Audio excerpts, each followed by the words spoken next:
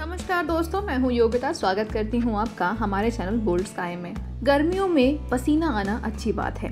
ये आपके शरीर के तापमान को सामान्य रखता है। खासकर गर्मियों में कोई भी काम कर रहे हो, या वर्कआउट के दौरान पसीना आना आम बात है। लेकिन अगर आपको ज़रूरत से ज़्यादा पसीना आता है तो आप हाइपरहाइड्रोसिस बीमारी के शिकार हो सकते हैं। इस बीमारी में हाथ और पैरों में ज़रूरत से ज़्यादा पसीना आता है।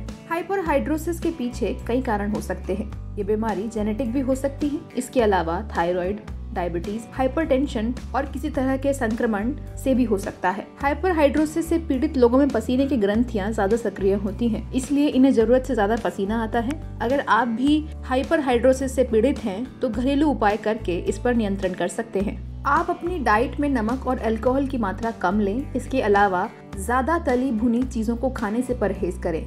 गर्मी के मौसम में फाइबर और पानी से भरपूर चीज़ों का सेवन करें। विनेगर। विनेगर में एंस्ट्रीजेंट के गुण होते हैं जो पसीने को नियंत्रित करने में मदद करते हैं। रोज़ाना दो चम्मच विनेगर और दो चम्मच शहद को एक गिलास पानी में मिलाकर खाली पेट पिए। नींबू का जूस। नींबू का जूस त्वचा में नेचुरल डिओड्रेंट की तरह काम करता है। आप पसीने से बचने के लिए अंडर आर्म्स में नींबू का रस रगड़े और बाद में ठंडे पानी से धो लें। नारियल तेल। नारियल तेल स्वास्थ्य के लिए बहुत फ़ायदेमंद होता है। आप अपने हाथों और पैरों में थोड़ा सा नारियल तेल लगाकर अपने आर्म्स और पैरों में रगड़ें ताकि पसीना कम आए। एलोवेरा जेल एलोवेरा जेल त्वचा को ठंडक और राहत दिलाता है।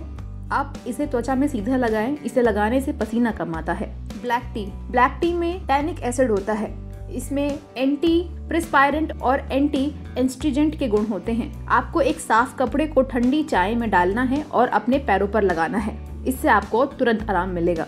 तो दोस्तों, आज के इस वीडियो में इतना ही। उम्मीद करती हूँ आपको हमारा ये वीडियो पसंद ज़रूर आया होगा। हमें कमेंट करके ज़रूर बताएँ कि आपको हमारा ये वीडियो कैसा लगा। वीडियो को लाइक एंड चैनल को सब्सक्राइब करना ना भूलें।